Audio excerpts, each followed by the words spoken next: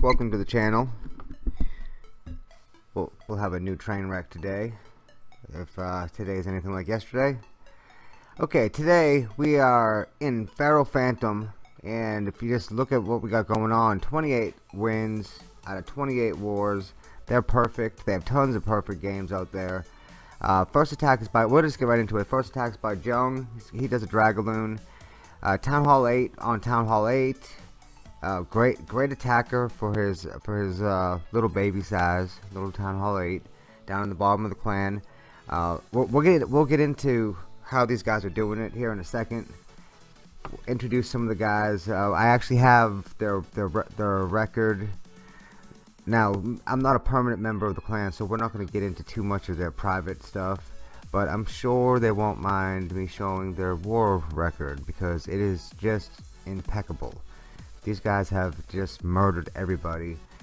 They, they, they're not an engineered clan. They don't have a bunch of lopsided bases. They do it head to head, toe to toe. Love that kind of action. So, first attack by Jung. Just comes and perfect attack for the clan. Just comes in head to head. Comes in with eight or nine dragons. Follows it up with some balloons. Perfect spell placement. Brings in his level 10 king try to distract some defenses right there at the end. Pulls the archer off the dragons. He just blows his base away. It's not a not a max Town Hall 8, but it doesn't matter though. It had it had max air defenses, and we all know in Town Hall 8, uh, level 3 dragons do not stand up to their level 5 air defenses. It's just the way it works out. So good attack. Jung is a just excellent player for these guys. He's all over the place. Now I don't know the the clan that well, so if I if I give props to someone that's kind of uh, new to the clan, sorry guys, I just kind of call it like I see it. I got a very small little window in the clan, and it's been a really cool time here. I've been here four or five days now.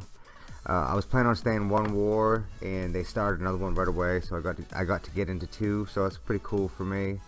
Of course, um, I can't tell how many times I've three starred on these like simple, simple Town Hall 9 bases that in war, in the first war I was in with these guys, I barely got the star.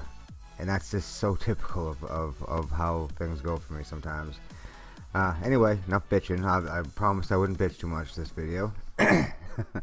so, one attack down. I want to show you the record here for a second. It's right after this attack, five or six seconds from now. It's a, it's nothing but a sea of green, which of course you'll expect that with the 28 wins. But I want to show you just more than just the wins. I want to show you the losses. I'm not sure how well this is, uh, you know, pre-recorded, so I'm not sure how well we're going to be able to see the losses. But uh, if you can't see them well, we have a loss by one right there to pancakes. You know, it's hard to beat pancakes. Lost by one to Team Fatigue. Lost by one to whoever that is. And a loss in a tie. So I believe that's 75 wars that they can post up there, something like that. And out of those 75, they've lost by a total of three stars and a tie. And the wins are not by one star. The most of the wins are just yeah, these guys are banging it out, man. Okay, next attacks by Living Dead. Now they they do a lot of similar attacks. This is the Quad Zapquake Laloon, and uh, you, you'll you'll see some similarities with their attacks. And and this is one of the theories that I have. It's the it's going back to the if it's not broke, don't try to fix it. Laloon is really strong. They use the hell out of it. So, and that's not there's nothing wrong with that. Uh, if, if it's working, go with it. They do have some variations of it. All the guys have their own take on it. These guys are really competitive within each within the clan. Uh, very supportive. It's just a great environment. Uh, if you're an elite attacker in Town Hall 9 and you happen to catch them while they're open, this would be a great clan for you to get in and, and learn. These, uh, it's just, yeah, I can't say enough about them. They're, they're just one of those experiences where the guys that are in the clan have really earned it, and I'm proud of them and uh, happy for them. So, okay, so just to give uh, a little a little explanation of the Laloon. The way this attack works is the first thing you try to do is draw out the clan castle troops and you try to and you try to take care of the queen. Once those objectives are taken care of, then you start putting in the lava hounds. You'll put in two lava hounds on the first air defense, and then you put another lava hound or two on the second air defense, and then you'll see the lava hounds kind of swing around the base. And as they're swinging around the base, you want to follow them around the base, either clockwise or counterclockwise with the balloons. You really don't want a sporadic disbursement of these balloons all over the place because that's going to get you in trouble.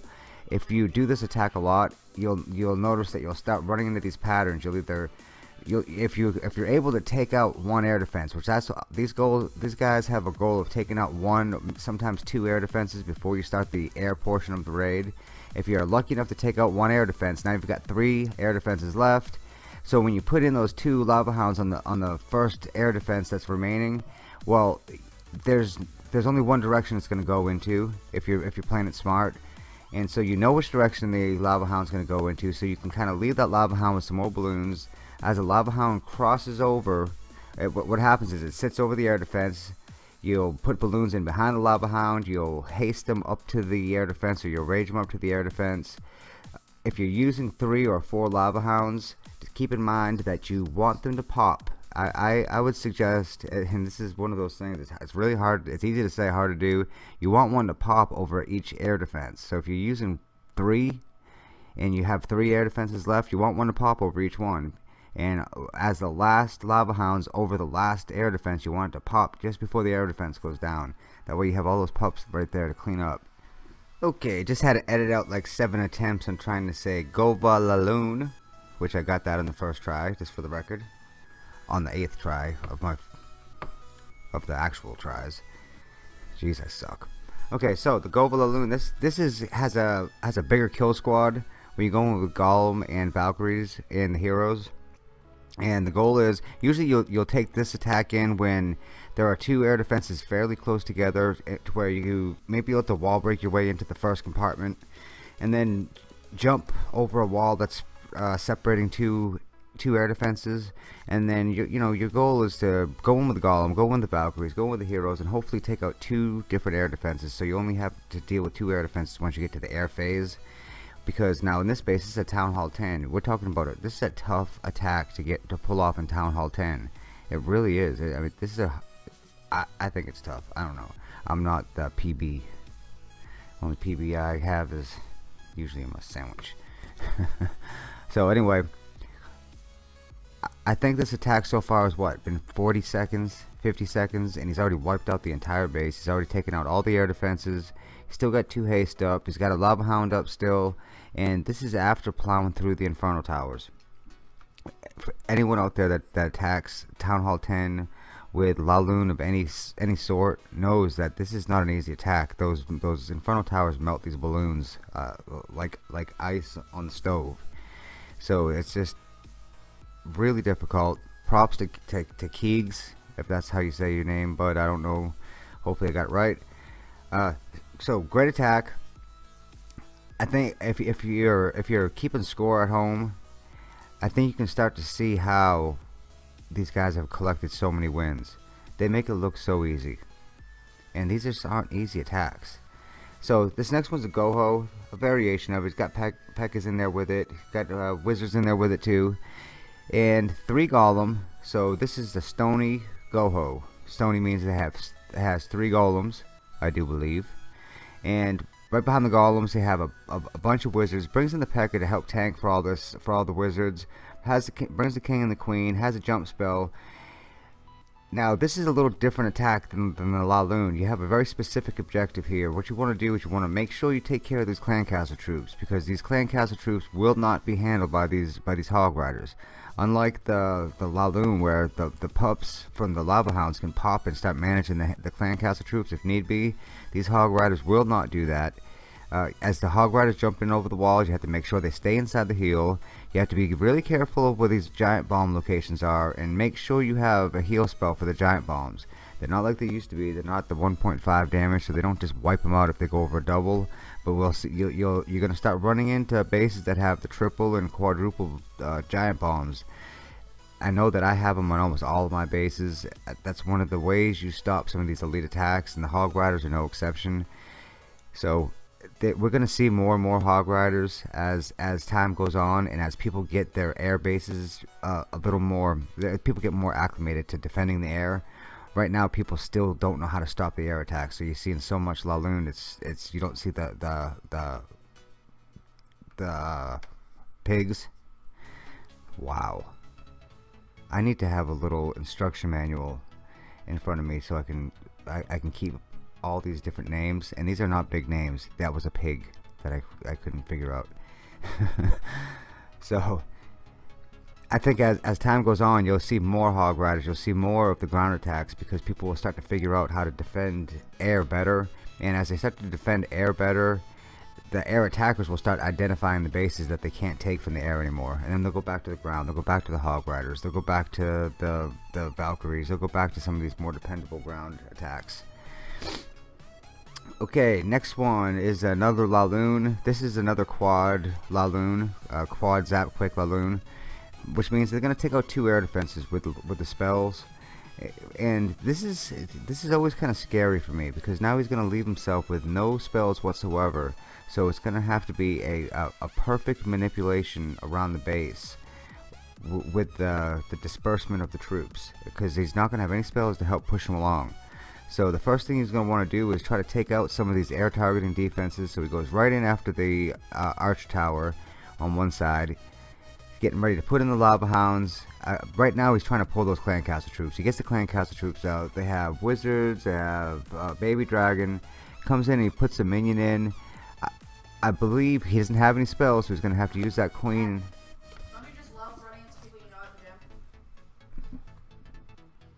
No, I don't really have a problem running into people at the gym, dear. Last time I saw people at the gym, I was in high school.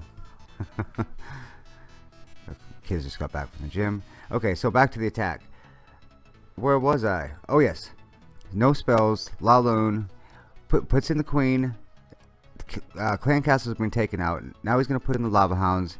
Now you'll notice he's going to disperse all these Lava Hounds and, and the and the balloons in a semicircle working right now from the top right he's going to work around towards the bottom of the base and then kind of work in a clockwise fashion I believe. Or my Mega Liar at me but you'll see all these all the balloons are now converging and they're heading down towards the south side of the base. He has one balloon left. He's gonna put that one last balloon in on the Tesla. And already there's no no air defenses left. Uh, there's a wizard tower left. There's not a lot of pu pups left. So you can see this is a kind of risky attack. Even though he, he took out two air defenses, doesn't really need all of the all the spells to get around because he doesn't have the, the air defenses to, to beat up the balloons and to beat up the lava hound so bad. But because he had to use all those spells ahead of time, he doesn't have any spells to rush, to push him through the base. So you can see he's really light on, on, on all the troops right now. So he does does manage to get around to the last last defense. He's got the pups on Town Hall. I believe there was plenty of time left, so I mean it's it's not really that close of an attack. It just always seems like th these are a lot closer. Uh, a lot of people liked using the quad uh, the quad Zapquake because they think it's a safer attack, and I always think that it may be safer, but it's always a little more stressful to watch. I don't know, but not complaining. Great attack by Ninja. Great war for these guys. We we missed the perfect perfect war by one. I think seven or eight of us had a shot at a Town Hall 10 that just happened to defend over and over again against uh, really good Town Hall 9 attacks. So 28 wins out of 28 attempts, going for 29. I can't see them losing ever again. They'll probably be the next undefeated clan. so hats off to the hats off to the guys. Really enjoy being here with them for the time being can't wait till the next uh, video coming up pretty soon. So appreciate everyone for watching. You haven't subbed to the channel yet, do me a favor, sub, sub to the channel for easy. Don't make me beg. It feels like I beg for these subs now. I'll stop paying people 50 cents a sub. no, don't, sorry, no, no, 25 cents a sub. 50 cents, no, can't do that. Anyway, enjoyed it. Hope you guys did too. Till next time, it's been easy.